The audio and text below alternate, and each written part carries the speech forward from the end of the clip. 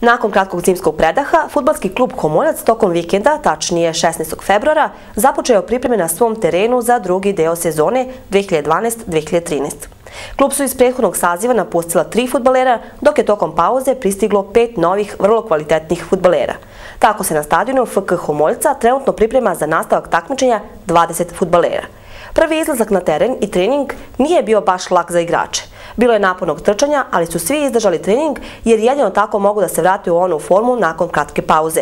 U buduće treninge će imati tri puta nedeljno, dok će jednom nedeljno imati utakmice. Humoljac je debitansku polusezonu završio na osmom mestu, te se očekuje da će i naredno prvenstvo igrati u zoni Dunav. Do početka prvenstva, koje će početi u martu, igraju se prijateljski mečevi.